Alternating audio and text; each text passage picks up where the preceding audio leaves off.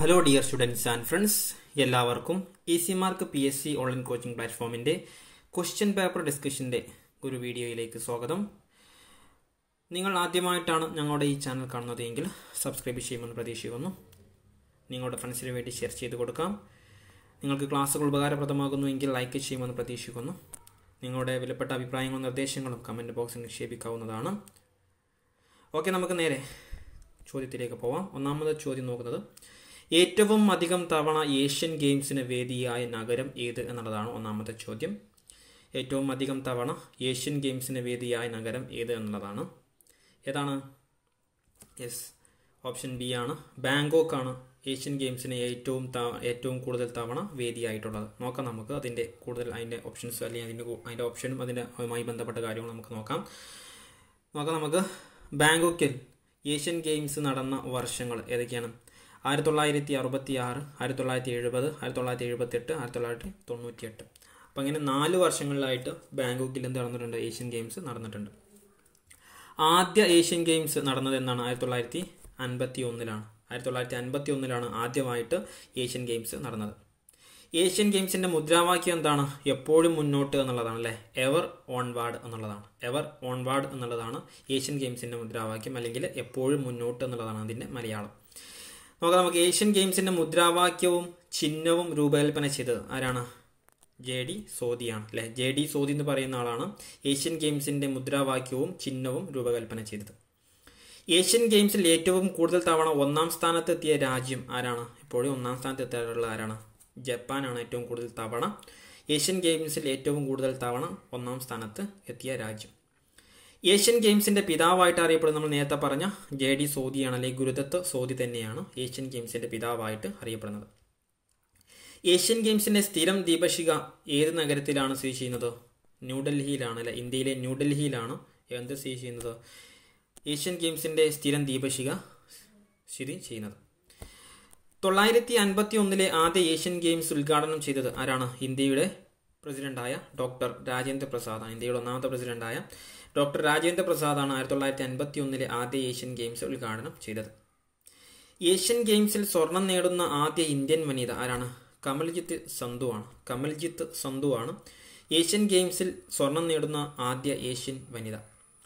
Asian ഗെയിംസിൽ ഒരു Asian sorry ഒരു ഏഷ്യൻ ഗെയിംസിൽ ഏറ്റവും അധികം മെഡൽ നേടിയ ഇന്ത്യൻ താരമാണ് ആര്? P T Usha. P T ഉഷയാണ് ഒരു ഏഷ്യൻ ഗെയിംസിൽ ഏറ്റവും അധികം മെഡൽ നേടിയ ഇന്ത്യൻ താരമായിട്ട് അറിയപ്പെടുന്നത്. ഓക്കെ നമുക്ക് രണ്ടാമത്തെ ചോദ്യത്തിലേക്ക് പോവാം. രണ്ടാമത്തെ ചോദ്യം വരുന്നത് ഏറ്റവും അധികം തവണ സോറി രണ്ടാമത്തെ ചോദ്യം നമ്മൾ ഒന്നാമത്തെ ചോദ്യം വായിച്ചതാണ്. രണ്ടാമത്തെ ചോദ്യം ഗ്രാമതല ആരോഗ്യ പ്രവർത്തനങ്ങൾ മെച്ചപ്പെടുത്താൻ രൂപം കൊടുത്ത പദ്ധതി. ഏതാണ്? ഗ്രാമതല ആരോഗ്യ പ്രവർത്തനങ്ങൾ മെച്ചപ്പെടുത്താൻ രൂപം കൊടുത്ത പദ്ധതി ഏതാണ്? നമുക്കറിയാം ഏതാണ്? ദേശീയ ഗ്രാമീണ ആരോഗ്യ മിഷനാണ് അല്ലെ? ദേശീയ ഗ്രാമീണ ആരോഗ്യ മിഷനാണ്. അതിന്റെ ആൻസർ ബി ആണ് കേട്ടോ ദേശീയ ഗ്രാമീണ ആരോഗ്യ മിഷനാണ്. ഗ്രാമതല ആരോഗ്യ പ്രവർത്തനങ്ങൾ മെച്ചപ്പെടുത്താൻ രൂപം കൊടുത്ത പദ്ധതി ദേശീയ ഗ്രാമീണ ആരോഗ്യ മിഷൻ കേട്ടോ അതുമായി ബന്ധപ്പെട്ട കുറച്ച് കാര്യങ്ങൾ നമുക്ക് നോക്കാം. ദേശീയ ഗ്രാമീണ ആരോഗ്യ മിഷൻ അല്ലെ N R H M N R H M രണ്ടായിരത്തി അഞ്ചിലാണ് രൂപപ്പെടുത്തിയിട്ടുള്ളത് കേട്ടോ രണ്ടായിരത്തി അഞ്ചിലാണ് എൻ ആർ എച്ച് എം മനസ്സിലാക്കി വെക്കാം. അല്ലെ മെച്ചപ്പെട്ട ആരോഗ്യ പ്രവർത്തന പരിചരണ സംവിധാനങ്ങൾ ഗ്രാമങ്ങളിൽ ഏർപ്പെടുത്തുന്നതിനും ആരോഗ്യ പ്രവർത്തനത്തെ അടിസ്ഥാന സൗകര്യങ്ങൾ വർദ്ധിപ്പിക്കുന്നതിനും രണ്ടായിരത്തി അഞ്ചിൽ രൂപീകരിച്ച അല്ലെങ്കിൽ ആരംഭിച്ച പദ്ധതിയാണ് എൻ ആർ എച്ച് എം കേട്ടോ അപ്പോൾ മനസ്സിലാക്കി വെച്ചാൽ മതി രണ്ടായിരത്തി അഞ്ചിലാണ് എൻ ആർ എച്ച് എം രൂപീകരിച്ചിട്ടുള്ളത്. കേട്ടോ ഗ്രാമതലത്തിൽ ആരോഗ്യമില്ലേ ഗ്രാമതലങ്ങളിൽ ആരോഗ്യം മെച്ചപ്പെടുത്താൻ വേണ്ടിയിട്ട് അവിടുത്തെ അടിസ്ഥാന സൗകര്യങ്ങൾ മെച്ചപ്പെടുത്താൻ വേണ്ടിയിട്ട് രൂപീകരിച്ച ഒരു സംവിധാനമാണ് എന്ത് ഈ എൻ ആർ എച്ച് എം കേട്ടോ നാഷണൽ റൂറൽ ഹെൽത്ത് മിഷൻ എന്നാണ് അതിന്റെ പേര് അല്ലെങ്കിൽ അതിന്റെ ഫുൾ ഫോം ആയിട്ട് മനസ്സിലാക്കി വെക്കേണ്ടത്. അപ്പോൾ N R H M national rural health mission രണ്ടായിരത്തി അഞ്ച് കേട്ടോ ഇന്ത്യയിലെ ആദ്യത്തെ പ്രാഥമിക ആരോഗ്യ കേന്ദ്രം സ്ഥാപിക്കപ്പെട്ടത് എവിടെയാണ്? കേരളത്തിലെ നെയ്യാറ്റിൻകരയിലാണ് കേട്ടോ നെയ്യാറ്റിൻകരയിലാണ് ഇന്ത്യയിലെ ആദ്യത്തെ പ്രാഥമിക ആരോഗ്യ കേന്ദ്രം സ്ഥാപിക്കപ്പെട്ടത്. നെക്സ്റ്റ് പറയുന്നത് ദരിദ്രരേഖയ്ക്ക് താഴെയുള്ള ഗർഭിണികൾക്ക് സാമ്പത്തിക സഹായം ചെയ്യുന്ന പദ്ധതിയാണ് Janani Suraksha Yojana J S Y.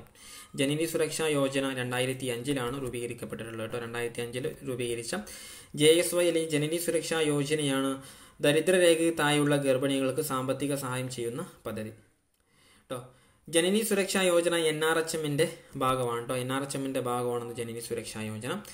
ഇന്ത്യയിൽ ആതുര സേവന രംഗത്തെ അതുല്യ പ്രതിഭകൾക്ക് നൽകുന്ന പുരസ്കാരമാണ് ധന്വന്തരി അവാർഡ്. ചോദിച്ച ഭാഗമാണ് ഇന്ത്യയിൽ ആതുര സേവന രംഗത്തെ അതുല്യ സംഭാവനകൾക്ക് നൽകുന്ന പുരസ്കാരമാണെന്ത് ധന്വന്തരി അവാർഡ് ചോദിച്ചതാണ് മനസ്സിലാക്കി വെച്ചോട്ടോ നെക്സ്റ്റ് നമുക്ക് കുറച്ചുകൂടി ഇമ്പോർട്ടന്റ് ആയ ഒരു ചോദ്യമാണ്. ആയുർവേദം യോഗ പ്രകൃതി ചികിത്സ യൂനാനി സിദ്ധ ഹോമിയോ എന്നിവയുടെ വികസനത്തിനും പ്രചരണത്തിനുമായി കേന്ദ്ര സർക്കാർ രൂപം നൽകിയ പദ്ധതിയാണെന്ത്?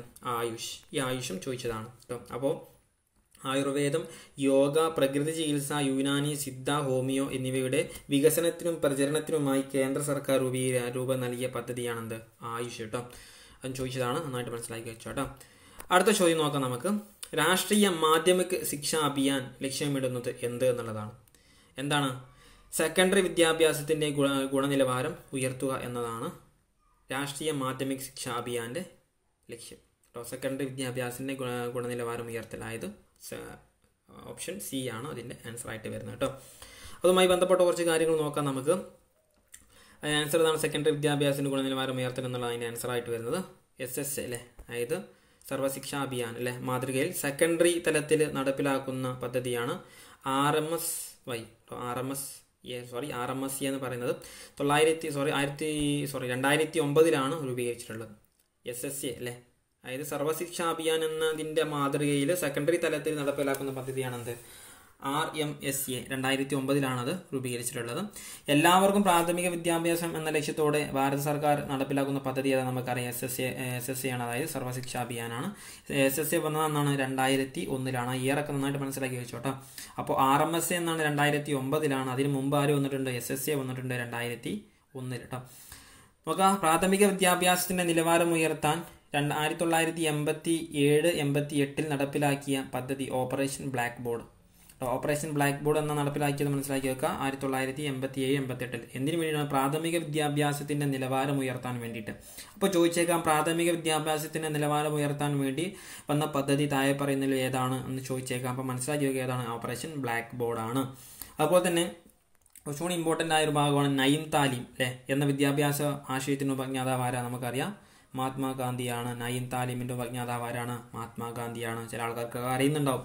നെക്സ്റ്റ് നോക്കുക സർക്കാരുകൾ വിദ്യാഭ്യാസ സോറി സർക്കാരുകൾക്ക് വിദ്യാഭ്യാസ രംഗത്തെ സംബന്ധിച്ച് മാർഗനിർദ്ദേശങ്ങൾ നൽകുന്ന സ്ഥാപനം ആരാണ്? Central advisory board of education. അപ്പോൾ ഗവൺമെന്റിന് വിദ്യാഭ്യാസ രംഗത്തെ കാര്യങ്ങൾ പറഞ്ഞു കൊടുക്കുന്ന ആരാണ്? ഈ central advisory board of education കേട്ടോ ലോകത്തെ ആദ്യ സമ്പൂർണ വിദ്യാഭ്യാസ ഉപഗ്രഹം ഏതാ? നമുക്കറിയാം ഏതാണ്? ഇന്ത്യയുടെ എജുസാറ്റ് ആണ് ഇന്ത്യയുടെ ഉണ്ടോ ഇന്ത്യയുടെ എജുസാറ്റ് ആണ് ലോകത്തെ ആദ്യ സമ്പൂർണ വിദ്യാഭ്യാസ ഉപ- ഉപഗ്രഹമായിട്ട് അറിയപ്പെടുന്നത്. അത് നിക്ഷേപിച്ചതെന്നാണ് രണ്ടായിരത്തി നാലിലാണ് ആന്ധ്രയിലെ ശ്രീ- ശ്രീഹരിക്കോട്ടയിൽ നിന്നുമാണ് നിക്ഷേപിച്ചിട്ടുള്ളത് കേട്ടോ. ശ്രീഹരിക്കോട്ടയിൽ നിന്നുമാണ് ആന്ധ്രയിലെ ശ്രീഹരിക്കോട്ടയിൽ നിന്നുമാണ് എന്ത് ചെയ്തത്? നിക്ഷേപിച്ചിട്ടുള്ളത്. അതുകൊണ്ട് എന്ത് ചെയ്യാമെന്ന് മനസ്സിലാക്കി വെക്കാം. അപ്പോൾ ലോകത്തെ ആദ്യത്തെ സമ്പൂർണ വിദ്യാഭ്യാസ ഉപഗ്രഹം എജുസാറ്റ് രണ്ടായിരത്തി നാല് ശ്രീഹരിക്കോട്ടയിൽ നിന്ന് നിക്ഷേപിക്കുന്നു. ഓക്കെ അടുത്ത സ്ലൈഡ് നോക്കാം നമുക്ക്. ഇന്ത്യൻ ഭരണഘടനയുടെ കൺകറന്റ് ലിസ്റ്റിൽ ഉൾപ്പെടുന്ന ഭരണവിഷയം ഏത് എന്നുള്ളതാണ് അടുത്ത ചോദ്യം. ഇന്ത്യൻ ഭരണഘടനയുടെ കൺകറന്റ് ലിസ്റ്റിൽ ഉൾപ്പെടുന്ന ഭരണവിഷയം ഏത് എന്നുള്ളതാണ് അറിയാം സിമ്പിളായിട്ട് നമുക്ക് അറിയാവുന്നതാണ് ഏതാണ്. വിദ്യാഭ്യാസമാണ് അല്ലെ? വിദ്യാഭ്യാസമാണ് കൺകറന്റ് ലിസ്റ്റിൽ പെടുന്ന കാര്യങ്ങൾ. കേട്ടോ അതുമായി ബന്ധപ്പെട്ട കുറച്ച് കാര്യങ്ങൾ നോക്കാം നമുക്ക്. കൺകറന്റ് ലിസ്റ്റ് എന്ന ആശയം ഇന്ത്യ ഭരണഘടന കടം എടുത്തത് അല്ലെങ്കിൽ കടം കൊണ്ടത് എവിടെ നിന്നാണ് ഓസ്ട്രേലിയയിൽ അപ്പോൾ ബോറോവുഡ് കോൺസ്റ്റിറ്റ്യൂഷൻ ആണ് ആര്? നമ്മളെ ഇന്ത്യ. നമുക്കറിയില്ലേ?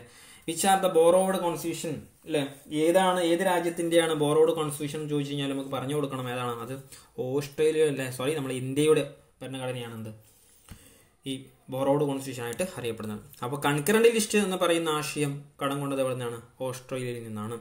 കൺകറന്റ് ലിസ്റ്റിൽ ഉൾപ്പെടുന്ന വിഷയങ്ങളുടെ എണ്ണം അൻപത്തിരണ്ടാണ്. അൻപത്തിരണ്ട് വിഷയങ്ങളാണ് ഇവിടെ ഉൾപ്പെടുന്നത്. കൺകറന്റ് ലിസ്റ്റിൽ ഉൾപ്പെടുന്നത്. അതിൽ കുറച്ച് കാര്യങ്ങൾ പറയുന്നുണ്ട്. ക്രിമിനൽ നടപടിക്രമങ്ങൾ ട്രസ്റ്റും ട്രസ്റ്റികളും നീതിന്യായ തട്ടിപ്പ് വിദ്യുത് ശക്തി വിദ്യാഭ്യാസം വിവാഹം അതുപോലെ തന്നെ നിയമവൃത്തി ആസൂത്രണം തൊഴിലും തൊഴിൽ സംഘടനകളും മായം ചേർക്കൽ ജനന മരണ രജിസ്ട്രേഷൻ തുടങ്ങിയവ കൺകറന്റ് ലിസ്റ്റിൽ ഉൾപ്പെടുന്നു.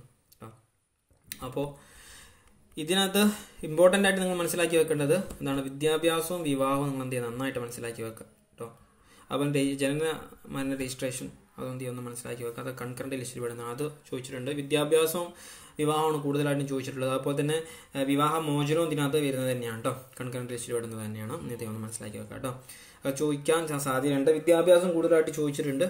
ഇന്ത്യ ഒന്ന് മനസ്സിലാക്കിയത് കൺകറന്റ് ലിസ്റ്റിൽ പെടുന്നതാണ് കേട്ടോ അടുത്ത അതിന് തന്നെ നോക്കാം. ഭരണഘടനയുടെ ഏഴാം ഷെഡ്യൂളിൽ ആണ് union list state list concurrent list എന്നിവ ഉൾപ്പെടുന്നത്. അപ്പോൾ ഷെഡ്യൂൾ ഏതാണ്? ഏഴാം ഷെഡ്യൂളാണ് കേട്ടോ ഷെഡ്യൂൾ ഏഴാണ്.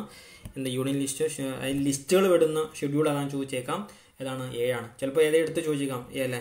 സ്റ്റേറ്റ് ലിസ്റ്റ് ഉൾപ്പെടുന്ന ഷെഡ്യൂൾ ഏത്? അല്ലെങ്കിൽ കൺകറന്റ് ലിസ്റ്റ് ഉൾപ്പെടുന്ന ഷെഡ്യൂൾ ഏത്? അല്ലെങ്കിൽ യൂണിയൻ ലിസ്റ്റ് ഉൾപ്പെടുന്ന ഷെഡ്യൂൾ ഏത് ചോദിച്ചേക്കാം. അതേതാണ് ഏഴാം ഷെഡ്യൂളാണെന്ന് മനസ്സിലാക്കി വെക്കാം കേട്ടോ. അതിന്റെ ആർട്ടിക്കിൾ ലിസ്റ്റിന്റെ ആർട്ടിക്കിൾ ഏതാണ്? ഇരുന്നൂറ്റി നാൽപ്പത്തി ആറാണെന്ന് മനസ്സിലാക്കി വെക്കുക ഇരുന്നൂറ്റി നാൽപ്പത്തി ആറാണ് ഇത് ലിസ്റ്റുകളുടെ ആർട്ടിക്കിളായിട്ട് അറിയപ്പെടുന്നത്. അതുമായി ബന്ധപ്പെട്ട് കുറച്ചുകൂടി കാര്യങ്ങൾ നോക്കാനുണ്ട്. യൂണിയൻ ലിസ്റ്റിൽ ഉൾപ്പെടുന്ന വിഷയങ്ങളുടെ എണ്ണം എത്രയാണ്? തൊണ്ണൂറ്റി ഒൻപത് വിഷയങ്ങളാണ് യൂണിയൻ ലിസ്റ്റിൽ ഉൾപ്പെടുന്നത്. എത്ര എണ്ണമാണ് തൊണ്ണൂറ്റി ഒൻപത് വിഷയങ്ങൾ ഇവിടെ വരുന്നുണ്ട്. യൂണിയൻ ലിസ്റ്റിൽ വരുന്നുണ്ട് കേട്ടോ ഈ വിഷയങ്ങളെക്കുറിച്ച് നിയമമുണ്ടാക്കാൻ പാർലമെന്റിനാണ് അധികാരമുള്ളത്. അപ്പോൾ യൂണിയൻ ലിസ്റ്റിനെ കുറിച്ച് നിയമം ഉണ്ടാക്കൽ ആര് തന്നെയാണ് പാർലമെന്റ് തന്നെയാണ്. അപ്പോൾ പാർലമെന്റിൽ നിന്ന് വരുന്നത് ആരൊക്കെയാണ് നമുക്കറിയാമല്ലോ. ആരൊക്കെയാണ് പാർലമെന്റിൽ വിടുന്നത്? ഇതിൽ ആരൊക്കെയുണ്ട്?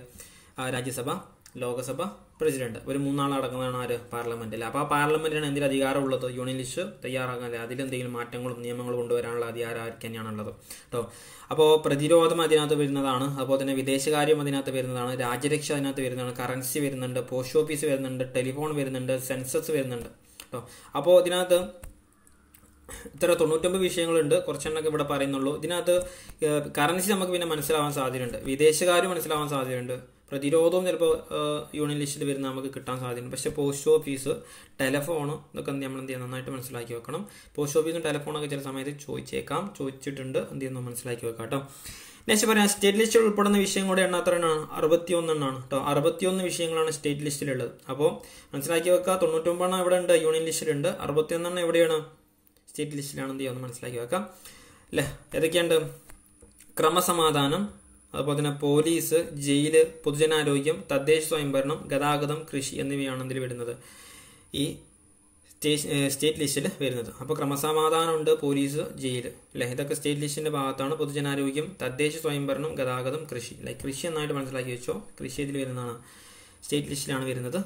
ഇത് ചിലപ്പോൾ എന്ത് ചെയ്യും? യൂണിയൻ ലിസ്റ്റ് ഒക്കെ നമുക്ക് എന്തെങ്കിലും തോന്നിയേക്കാം. അല്ല ഗതാഗതം ചിലപ്പോൾ യൂണിയൻ ലിസ്റ്റ് തോന്നിയേക്കാം. തദ്ദേശ സ്വയംഭരണം അല്ലേ? ഭരണമാണല്ലോ. അപ്പോൾ ചിലപ്പോൾ യൂണിയൻ ലിസ്റ്റിൽ വന്നേക്കാം തോന്നും. അല്ല എവിടെയാണ് സ്റ്റേറ്റ് ലിസ്റ്റിലാണ് കേട്ടോ അത് മനസ്സിലാക്കി വെക്കാം കേട്ടോ. നെക്സ്റ്റ് നോക്കുന്നത് ലോക അധ്യാപക ദിനം എന്നാണ് ഒക്ടോബർ അഞ്ചാണ്. ഒക്ടോബർ അഞ്ചാണ് ലോക അധ്യാപക ദിനമായിട്ട് ആചരിക്കുന്നത്. സെപ്റ്റംബർ അഞ്ചാണ് എന്ത്? സ്റ്റേറ്റ് അതായത് സംസ്ഥാന അധ്യാപക ദിനമായിട്ട് ആചരിക്കുന്ന എന്നാണ്. സെപ്റ്റംബർ അഞ്ചാണ്. എന്നാൽ ലോക അധ്യാപക ദിനം എന്നാണ് ഒക്ടോബർ അഞ്ചാണ് അത് മനസ്സിലാക്കി വെക്കാം. പക്ഷേ ദേശീയ വിദ്യാഭ്യാസ ദിനം നവംബർ പതിനൊന്നാണ് അല്ലെ? നവംബർ പതിനൊന്നാണ് ദേശീയ വിദ്യാഭ്യാസ ദിനമായിട്ട് ആചരിക്കുന്നത് കേട്ടോ ഏതോ ഒരു വ്യക്തിയുടെ ജന്മദിനമാണല്ലോ എന്ത്? ദേശീയ വിദ്യാഭ്യാസ ദിനമായിട്ട് ആചരിക്കുന്നത്. ആരുടെയാണ്? ആരുടെയാണ്? കേട്ടോ ഒന്ന് നിങ്ങളെന്ത് ഒന്ന് കമന്റ് ചെയ്യുക. അല്ലെങ്കിൽ നിങ്ങളെന്ത് ഒന്ന് കണ്ടെത്തി വെക്കുക കേട്ടോ എന്തായാലും പ്രശ്നമില്ല. നെക്സ്റ്റ് നോക്കുന്നത് ഒരു മാത്സിൽ നിന്നുള്ളൊരു ചോദ്യമാണ്? ഒരു ത്രികോണത്തിന്റെ കോണുകൾ ഒന്നേ ഇഷ്ടു മൂന്ന് ഇഷ്ടു അഞ്ച് ഇഷ്ടു അഞ്ച് എന്ന ആശയ അനുബന്ധത്തിന് അല്ലെങ്കിൽ അംശബന്ധത്തിൽ ആയാൽ ഏറ്റവും ചെറിയ കോണിന്റെ അളവ് എത്ര എന്നുള്ളതാണ് അല്ലേ? ഒന്നേ ഇഷ്ടു മൂന്ന് ഇഷ്ടു അഞ്ച്. അല്ലെ? എങ്ങനെ വന്നു കഴിഞ്ഞാൽ ഇതിന്റെ ഏറ്റവും ചെറിയ കോണിന്റെ അളവ്. അപ്പോൾ നമ്മൾ ഒന്നാമത്തെ ആണ് കാണേണ്ടത്. ഈ ഒന്ന് എന്നുള്ളതാണ് നമ്മൾ കാണാണ്ട് വലുത് ചോദിച്ചു കഴിഞ്ഞാൽ അഞ്ച് അഞ്ച് നോക്കാം. ചെറുത് ചോദിച്ചു കഴിഞ്ഞാൽ ഒന്ന് നോക്കാം. നമുക്ക് അറിയാവുന്നതാണെന്ന് തോന്നുന്നു അല്ലേ? കുറേ ആൾക്കാർക്ക് അറിയുന്നുണ്ടാവും. അപ്പോൾ ഒരു ത്രികോണത്തിന്റെ മുഴുവൻ അളവ് എത്രയാണ്? നൂറ്റി എൺപതാണ് നമുക്കറിയാമല്ലോ. നൂറ്റി എൺപതാണ് ഒരു ത്രികോണത്തിന്റെ മുഴുവൻ അളവായിട്ട് വരുന്നത്. അപ്പോൾ ഈ നൂറ്റി അൻപത് ഇന്റു ഒന്ന് ബൈ ഒൻപത് ചെയ്യുക ഈ ഒൻപത് എങ്ങനെ കിട്ടി? അഞ്ച് പ്ലസ് മൂന്ന് പ്ലസ് ഒന്നാണെന്ത്? നമുക്ക് ഈ ഒൻപത് കിട്ടണം അല്ലേ? ഈ ഒൻപതും പതിനെട്ടും നമുക്ക് വെട്ടാം. എത്രയാണ്? രണ്ട് വരും. അപ്പോൾ അല്ലേ ഇരുപത് ഇന്റു ഒന്ന് ആൻസർ എത്രയാണ്? ഇരുപതാണ് ആൻസർ ആയിട്ട് വരുന്നത്. ഓപ്ഷൻ ബി ആണ് ആൻസർ മനസ്സിലാക്കി വെക്കുക കേട്ടോ. അപ്പോൾ വലുത് ചോദിച്ചാൽ നമ്മൾ എങ്ങനെ ചെയ്യും? വലുത് ചോദിച്ചു കഴിഞ്ഞാൽ വലുത് ചോദിച്ചു കഴിഞ്ഞാൽ നമുക്ക് സിമ്പിളായിട്ട് ചെയ്യാം അല്ലേ? ഈ ഒന്നിന്റെ സ്ഥാനത്ത് എന്ത് കൊടുത്താൽ മതി നമുക്ക്? ഈ ഒന്നിന് ഒന്നിന്റെ സ്ഥാനത്ത് അഞ്ച് കൊടുക്കുക അല്ലേ അഞ്ച് അല്ലേ അഞ്ച് ബൈ ഒൻപത് വരും. ഇവിടെ ഇവിടെ വെട്ടിപ്പോവും. രണ്ടിടാം നമുക്ക് അല്ലേ ഇരുപതഞ്ച് അല്ലേ അഞ്ച് രണ്ടഞ്ച് പത്ത് അതായത് നൂറ് വരും. എന്ത് ചെയ്യും? വലിയ വശം അല്ലേ അപ്പോൾ ചെറിയ വശം ഇരുപത് വലിയ വശം നൂറായിട്ട് വരും. അപ്പോൾ അവിടെ കിടക്കട്ടെ അതിൽ ചെറിയ വശം അവിടെ ചോദിച്ചിട്ടുള്ളത് ഏതാണ് ആൻസർ ഇരുപതാണ് ആൻസർ ആയിട്ട് വരുന്നത്. ഓക്കെ അടുത്ത ചോദ്യം നോക്കാം നമുക്ക്. അടുത്തത് ഒരു മാത്സിലെ ചോദ്യം തന്നെയാണ്. മുപ്പത് പേർ ചേർന്ന് എട്ട് ദിവസം കൊണ്ട് ചെയ്തു തീർക്കുന്ന ജോലി നാൽപ്പത് പേർ ചേർന്ന് എത്ര ദിവസം കൊണ്ട് ചെയ്തു തീർക്കും? ഇങ്ങനെ നമ്മൾ വർക്ക് ആൻഡ് ടൈമിന്റെ ഒരു ചോദ്യം കണ്ടു കഴിഞ്ഞാൽ ഇങ്ങനത്തെ ചെറിയ ഈ കുറച്ചെണ്ണം ഇല്ലേ മൂന്നും അല്ലേ അങ്ങനെ ഒരു മൂന്നും കാര്യങ്ങൾ തന്നിട്ടുള്ളൂ എങ്കിൽ നമുക്ക് എന്ത് ചെയ്യാം? ഇവിടെ വളരെ സിമ്പിൾ ആയിട്ടല്ലേ? ആദ്യം തന്ന രണ്ടെണ്ണം നമ്മൾ എന്ത് ചെയ്യുന്നു? മേലെ എഴുതിയിട്ട് അല്ലേ താഴത്ത് അവസാനം തന്നത് എഴുതുന്നു. വളരെ സിമ്പിളായിട്ട് ചെയ്യാം. എന്നിട്ട് എന്ത് ചെയ്യാം? അവിടെ നിന്ന് നമ്മൾ വെട്ടിക്കളഞ്ഞ് ശരിയാകും ഇവിടെ നാല് വരും ഇവിടെ മൂന്ന് വരും ഈ നാല് എട്ടും വെട്ട അവിടെ നമുക്ക് എന്ത് ചെയ്യും? രണ്ട് വരും. അല്ലേ മൂന്ന് ഇന്റു രണ്ട് എത്രയാണ്? ആൻസർ ആറ് വരും. ഓപ്ഷൻ സി ആണ് ആൻസർ ആറാണ് ആൻസർ ആയിട്ട് വരുന്നത് കേട്ടോ അപ്പോൾ നിങ്ങൾ ഇങ്ങനെ വരുന്ന സമയത്ത് നമ്മൾ എന്ത് ചെയ്യുക ഇങ്ങനെ മൂന്നെണ്ണൊക്കെ ഉള്ളൂ എങ്കിൽ നമുക്ക് ഇങ്ങനെ ചെയ്യാം. ഈ പ്രൊഡക്ഷൻ അല്ലേ? പ്രൊഡക്റ്റ് വരുന്ന സമയമുണ്ടല്ലോ. അപ്പോൾ നമ്മൾ ചില സമയം ചോദിച്ചേക്കാം. അല്ലേ മുപ്പത് ആളുകൾ ചേർന്ന് എട്ട് ദിവസം കൊണ്ട് ഒരു പത്ത് മരം മുറിച്ചു. അല്ലേ അങ്ങനെ നമ്മൾ പ്രൊഡക്റ്റ് വരുന്ന സമയത്ത് എന്ത് ചെയ്യും നമ്മൾ താഴത്തെ അതിന്റെ പ്രൊഡക്റ്റ് കൊടുത്തിട്ട് ക്രോസ് മൾട്ടിപ്ലിക്കേഷൻ ചെയ്യലാണ് അപ്പോൾ നമ്മൾ ഞാൻ പറഞ്ഞുതരാം. ഇപ്പോൾ മുപ്പത് ഇന്റു എട്ട് ഇപ്പോൾ പത്ത് അല്ലേ മുപ്പത് ആളുകൾ ചേർന്ന് എട്ട് ദിവസം കൊണ്ട് പത്ത് മരം മുറിക്കുന്നു അല്ലേ? അങ്ങനെയാണെങ്കിൽ അല്ലേ നാൽപ്പത് ആളുകൾ ചേർന്ന് നാൽപ്പത് ആളുകൾ ചേർന്ന് പത്ത് മരം മുറിക്കാൻ എത്ര പേര് വേണം എന്നുള്ളതാണ് ചോദ്യം. എങ്കിൽ നമ്മൾ എന്ത് ചെയ്യാതെ ക്രോസ് മൾട്ടിപ്ലിക്കേഷൻ ചെയ്യുക. അങ്ങനെ ചെയ്യൽ മുപ്പത് ഇന്റു എട്ട് ഇന്റു പത്ത് അല്ലേ? ഈ പത്താണ് അവിടെ എടുത്തിട്ടുള്ളത്. അല്ലേ ഇവിടെ പത്ത്. അതായത് ഈ പത്ത് കേട്ടോ ആദ്യം ആദ്യ എഴുതിയ പത്തല്ല രണ്ടാമത് എഴുതിയ പ്രൊഡക്ഷന്റെ പത്ത്. എന്നിട്ട് ഡിവൈഡ് ചെയ്യുക. എന്നിട്ട് നാൽപ്പത് ഇന്റു ഈ പത്ത് രണ്ടാമത് എഴുതിയ പത്ത് അല്ലെങ്കിൽ ആദ്യ എഴുതിയ പത്ത് എഴുതുന്നു. ഇവിടെ രണ്ട് പത്താക്കിയത് പത്താക്കിയതുകൊണ്ടാണ് കൺഫ്യൂഷൻ വരാം അല്ലേ ഇവിടെ നമ്മൾ ഈ പത്തും പത്തും വെട്ടാം. നമ്മൾ നേരെ ചെയ്ത പോലെ തന്നെ ചെയ്യാം. നമുക്ക് ആൻസർ ആറ് തന്നെ വരില്ലേ? അവിടെ ഇങ്ങനെ വെട്ടിപ്പോവും. ഇവിടെ നാല് നാല് എട്ടില്ല അങ്ങനെ പോകും രണ്ട് ആൻസർ ആറിന് വരും. അപ്പോൾ ഇങ്ങനെ പ്രൊഡക്ഷൻ അല്ല പ്രൊഡക്റ്റ് വരുന്ന സമയത്ത് അല്ലെങ്കിൽ അതിന് ആൻസർ വരുന്ന സമയത്ത് അല്ലെങ്കിൽ പ്രൊഡക്റ്റ് ഉണ്ട് എങ്കിൽ പ്രൊഡക്റ്റ് എന്ത് ചെയ്യുക? താഴത്തെ എഴുതിയിട്ട് ക്രോസ് മൾട്ടിപ്ലിക്കേഷൻ കൊടുക്കുക കേട്ടോ. മനസ്സിലാക്കി വെച്ചാൽ മതി. കൂടുതൽ ക്വസ്റ്റ്യൻ അതായത് മാത്സിന്റെ മാത്സിനായിട്ടുള്ളൊരു ക്വസ്റ്റ്യൻ നമ്മൾ ചെയ്യുന്നുണ്ട്. അന്നേരം നമുക്ക് എന്തെങ്കിലും കൂടുതലായിട്ട് മനസ്സിലാവും. അടുത്ത നമ്മൾ നോക്കുന്നത് അടുത്ത ചോദ്യം ആനന്ദമഠം രചിച്ചത് ആര് എന്നുള്ളതാണ് അടുത്ത ചോദ്യം വരുന്നത്. ആരാ? നമുക്ക് സിമ്പിളായിട്ട് അറിയാം. ആര് തന്നെയാണ്? ബങ്കിം ചന്ദ്ര ചാറ്റർജിയാണ്. നമുക്ക് അറിയാവുന്നതാണ് ഇതുമായി ബന്ധപ്പെട്ട കുറച്ച് കാര്യം നമുക്ക് എന്ത് ചെയ്യാം? ചർച്ച ചെയ്യാം. ആൻസർ വരുന്നത് ബങ്കിം ചന്ദ്ര ചാറ്റർജിയാണ് ദേശീയ ഗീതമായ വന്ദേമാതരം എഴുതിയത് ആര് തന്നെയാണ് ബങ്കിം ചന്ദ്ര ചാറ്റർജിയാണ് നമുക്കറിയാവുന്നതാണ്. ബങ്കിം ചന്ദ്ര ചാറ്റർജി എഴുതിയ അല്ലെ ഏതു കൃതിയിൽ നിന്നാണ് വന്ദേമാതരം എടുത്തിട്ടുള്ളത്? എവിടെ നിന്നാണ് നമുക്കറിയാവുന്നതാണ്? എവിടെ നിന്നാണ് ആനന്ദമഠത്തിൽ നിന്നാണ് ബങ്കിം ചന്ദ്ര ചാറ്റർജിയുടെ വന്ദേമാതരം എടുത്തിട്ടുള്ളത്. ബംഗാളിലെ സ്കോട്ട് അല്ലെങ്കിൽ ബംഗാൾ സ്കോട്ട് എന്നറിയപ്പെടുന്ന ആരാണ്? ബങ്കിം ചന്ദ്ര ചാറ്റർജിയാണ് നമുക്കറിയാവുന്നതാണ്. ദുർഗേശനന്ദ്രി എന്ന ഗ്രന്ഥത്തിന്റെ രചയിതാവ് അതുമാരി തന്നെയാണ് ബങ്കിം ചന്ദ്ര ചാറ്റർജിയാണ് മനസ്സിലാക്കി വെക്കാം. എന്നാൽ മറ്റൊരു ചോദ്യമാണ് സിസ്റ്റർ നിവേദിതയുടെ ശിഷ്യൻ ആയിട്ട് അറിയപ്പെടുന്ന ആരാണ്? സുബ്രഹ്മണ്യ ഭാരതീയരാണ്. സുബ്രഹ്മണ്യ ഭാരതീയരാണ് സിസ്റ്റർ നിവേദിതയുടെ ശിഷ്യനായിട്ട് അറിയപ്പെടുന്നത്. അതിവിടെ പറയാൻ കാരണം വേറെ ഒന്നുമല്ല ഓടി അല്ലെ ഓടി വിളയാട് പാപ്പ എന്ന ഗാനം രചിച്ചത്.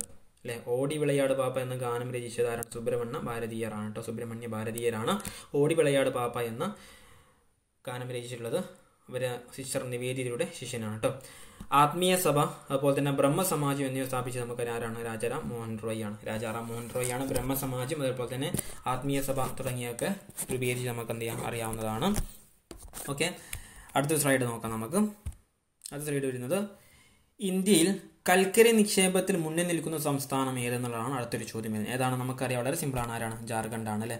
ജാർഖണ്ഡാണ് ഇന്ത്യയിൽ കൽക്കരി നിക്ഷേപത്തിൽ മുന്നിൽ നിൽക്കുന്ന സംസ്ഥാനം. രാഷ്ട്രീയമാണത് അല്ലേ ഇത് പറയുന്നുണ്ട് നമ്മൾ നോക്കാം അതിന് ആൻസർ ജാർഖണ്ഡാണ് നമ്മൾ പറഞ്ഞു. ഇന്ത്യയുടെ ധാതു സംസ്ഥാനം എന്ന് അറിയപ്പെടുന്ന ആരാണ്? ജാർഖണ്ഡാണ് അല്ലെ? ഇന്ത്യയുടെ ധാതു സംസ്ഥാനം ആരാണ്? ജാർഖണ്ഡാണ് അല്ലെ?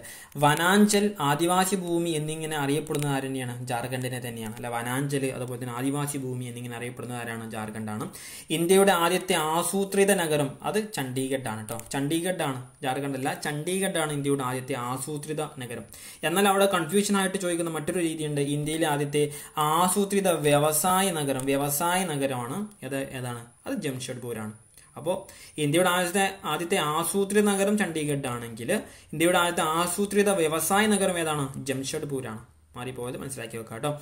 ഇന്ത്യയിലെ ഏറ്റവും വലിയ രാസവള ഫാക്ടറി നമുക്കറിയാം ഏതാണ്? സിന്ദ്രിയാണ്. സിന്ദ്രിയാണ് ഇന്ത്യയിലെ ഏറ്റവും വലിയ രാസവള ഫാക്ടറി ആയിട്ട് അറിയപ്പെടുന്നത്.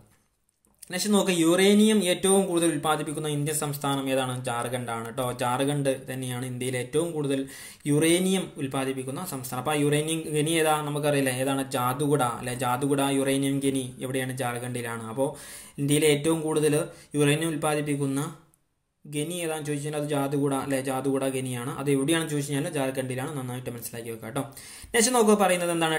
Tata and iron and steel plant എവിടെയാണ്? ജംഷഡ്പൂരാണ്. Tata iron and steel plant എവിടെയാണ്? ജംഷഡ്പൂരാണ്. നന്നായിട്ട് മനസ്സിലാക്കി ചോദിച്ച ഭാഗമാണ്. ഇതൊക്കെ വളരെ ഇമ്പോർട്ടന്റ് ഭാഗങ്ങളാണ്. ഇതൊക്കെ ചോദിച്ച ഭാഗങ്ങളാണ്.